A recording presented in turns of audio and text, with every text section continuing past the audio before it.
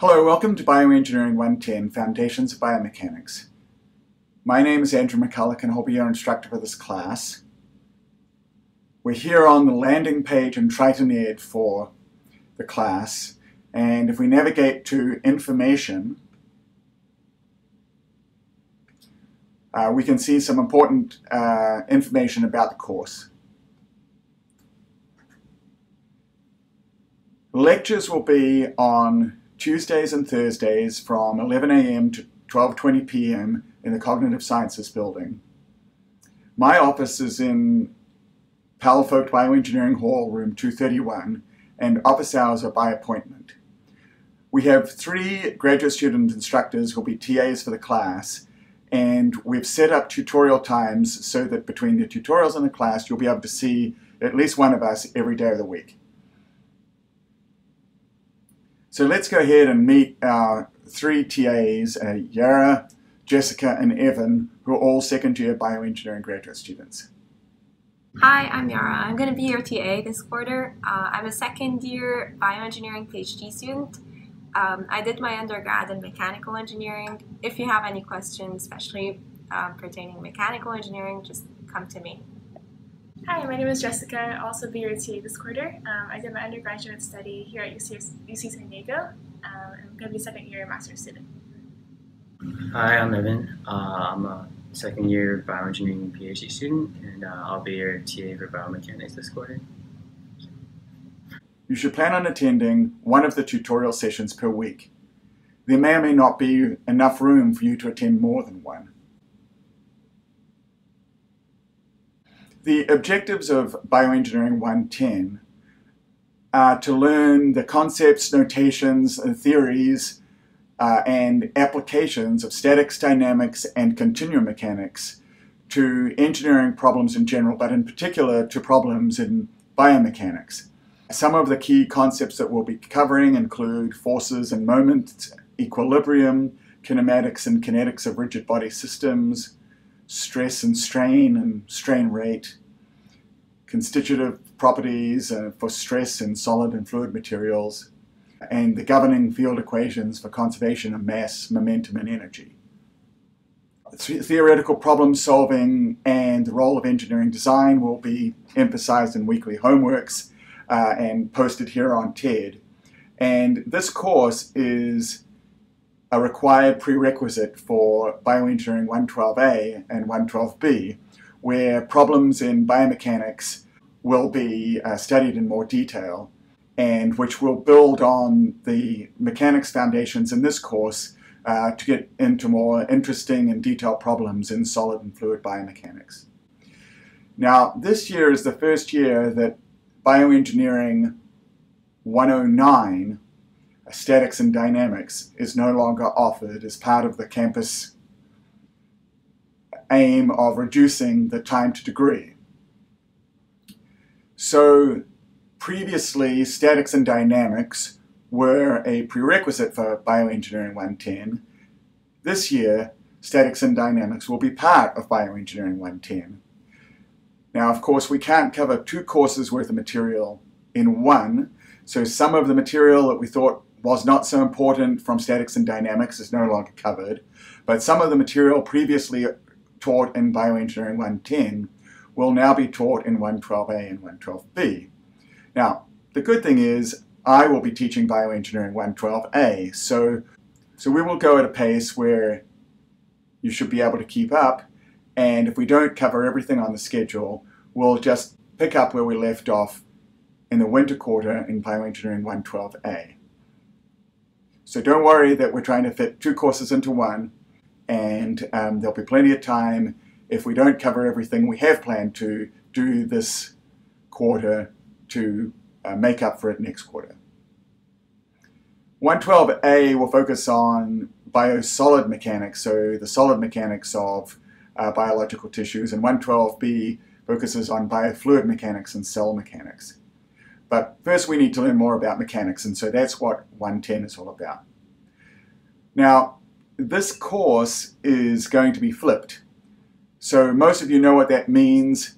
It means that the lectures will actually be here online as videos, and you'll view them before you come to class. And then in class, we'll use that time to work together, solving problems uh, and learning from each other and answering questions. To facilitate that process, we'll use clickers. And if you already have a clicker, then that's all you need to know. Just bring it to class. If you don't have a clicker, um, then you'll need to get one. So this is an iClicker 2. Uh, you can buy them, new or used from the bookstore. The iClicker 1 doesn't have the LED display and that will work too. Unfortunately, you can't use the iClicker Go app because that's not supported by UCSD, but uh, a used or new clicker will suffice. If you have a roommate or someone who's taking a different class where they use a clicker at a different time, you can use their clicker for this class and register it for this class. But you cannot, of course, lend your clicker to someone else, especially when you're uh, not going to be present. Most of you probably used a iClicker like this for Bioengineering 1, and so if you still have that, it will work. You know, biomechanics involves um, new theoretical and physical concepts that take a while to understand and digest before we can use them. And so discussion and peer instruction and active learning and problem solving are the most effective use of the limited time we have in class. So it will be important for you to view the online videos before class. Uh, you'll have a chance to upload questions. There will be a printout that you can make of the notes from the class. Take notes on it and come to class ready to ask questions. And so at the start of each class, we will, we will answer questions. And then we'll work on some problems, some examples. And we'll do this interactively. I'll get you to help me and tell me what the next step is, and we'll use clickers to get feedback. So um, come with your clicker, come with your notes, come with your questions, and come with a willingness to work with other students in your class to you know, really understand these concepts and, and solve problems. We know that everyone learns differently, and so that's why having notes and written material and visual material and audio material we hope will um, help you to uh, take most greatest advantage of the course. We can also discuss homework assignments and do examples related to homework in class, but the tutorials will really be the time when the TAs will do that. Now there's no required textbook for this course. However, this book by Humphrey and Delange, An Introduction to Biomechanics, Solids and Fluids, Analysis and Design, is the textbook for Bioengineering 112A and B. So if you want to go ahead and get it now, it could be a useful reference for 110. It has some uh, foundational mechanics material in it. Or if you want to wait and see if you can find a used copy or something, then by all means wait till the winter quarter to get it. One of the reasons you don't need this book now is because it's mostly on the biomechanics applications and we have to start by learning statics and dynamics the textbook that I use on statics and dynamics is by Beer and Johnston. It's a classic engineering text. Um, and if you want to buy a book on statics and dynamics, this is the one to buy. But we'll only be doing a few weeks on statics and dynamics, so I don't expect you to buy this book. There are um, PowerPoint slides and examples online at the website for this book, so you may find uh, that more than sufficient for your needs. As we progress from statics and dynamics to continuum mechanics, and a good reference written by UCSD's own YC Fung is a first course in continuum mechanics. And uh, you could find used copies of this. Again, this is not required. All the notes and materials that you will need uh, will be in the class. Um, however, if you want a textbook on continuum mechanics, uh, that's a good one. And it has plenty of examples. The notations that I use actually come from a different book by Spencer called Continuum Mechanics. It's a Dover book and is quite uh, inexpensive now uh, on Amazon, but this book does not have lots of good examples, so it's good just for an example of a book on continuum mechanics that uses the notations that I use, but uh, in terms of examples and explanation, YC Fung's book is better. But again, I'm not requiring or even recommending that you buy any of these books. I know that they're expensive. Just letting you know my recommendation for books that are most closely related to the content of this course. So moving on to grading, 40% of the score will come from weekly homework assignments. Uh, there'll probably be eight in total. And another 40% will come from the final exam, which will be a closed book exam. And then we will have regular clicker quizzes pretty much every day starting in the second week. And the way the clicker grading will work is that you'll get three points for just answering the question and five for getting the correct answers. And then at the end of the year, we'll drop your worst two sessions in computing your scores. You'll notice there isn't a midterm. I'll poll you about if you want to have a midterm. We could do a midterm with clickers quite quickly or we could have a more comprehensive midterm or even a take-home midterm. But because we're trying to cover so much material on statics, dynamics, and continuum mechanics in this class, to take a whole class out to have a midterm is only going to make it even harder for us. So as long as you're getting regular sort of feedback on your progress through the clicker quizzes, I don't think you'll need a midterm. But you will need to do your homeworks, and uh, they will come every week, as I mentioned, although we'll try to end have the last one be before the last week of the quarter. Needless to say, the homework that you turn in must be your own, and because of the nature of this course, it must be handwritten. If your homework is a little bit late, then we'll still try and accept it. However, late homework will be subject to a penalty, and um, this is going to be at the discretion of the graders. The graders have suggested the following scheme, which they may change and that is the homework will be considered late if it's submitted after the beginning of class on the day that the homework is due.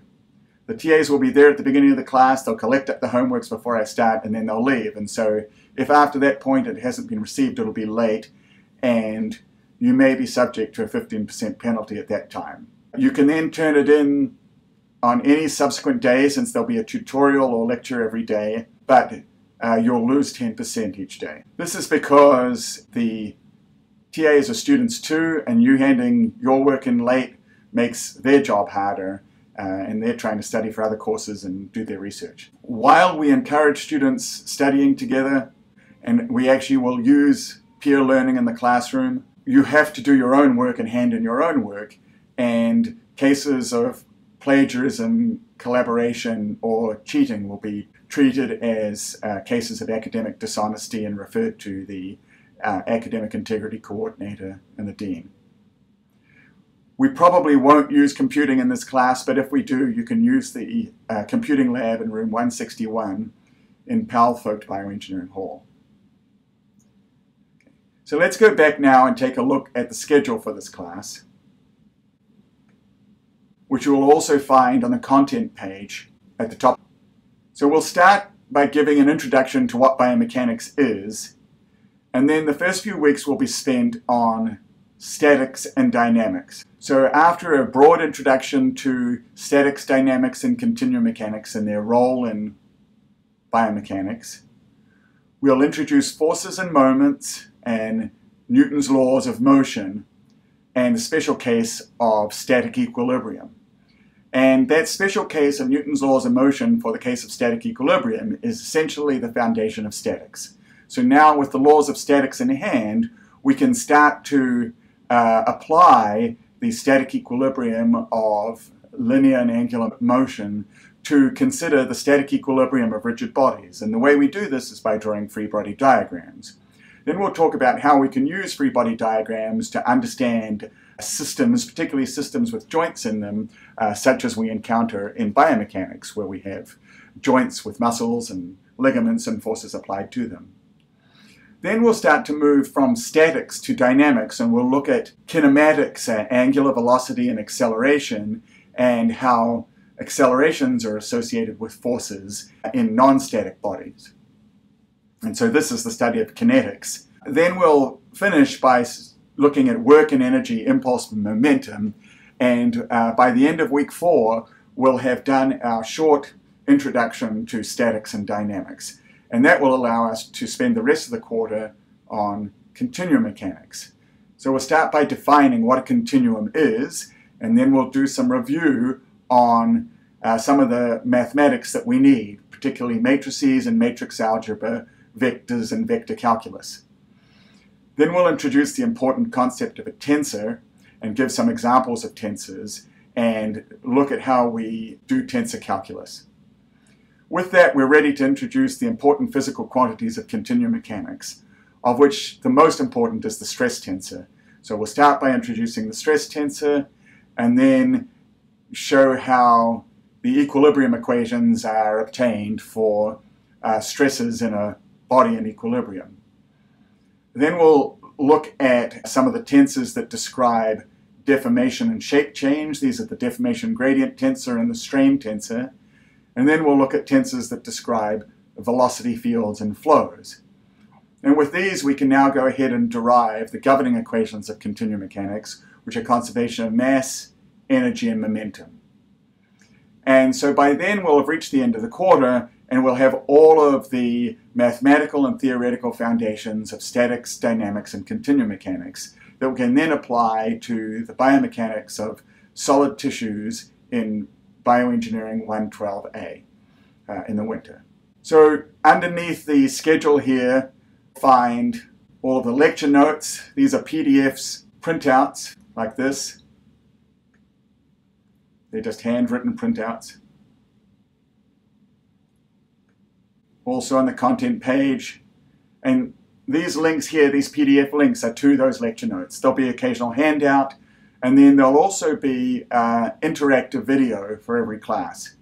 Now, you'll find those video links here on the interactive webcast folder, or you can link to them clicking this link that says PlayPosit. So PlayPosit is a site that broadcasts annotated versions of the videos, uh, like this one here.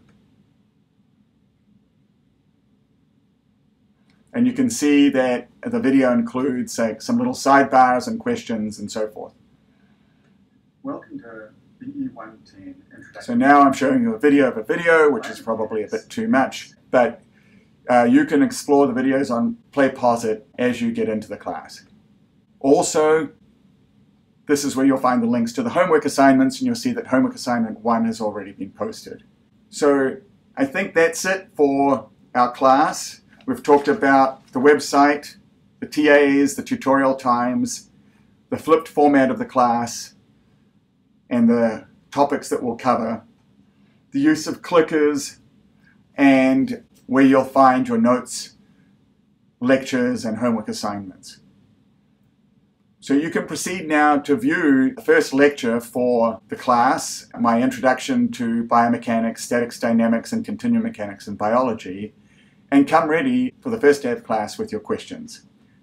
I look forward to seeing you there.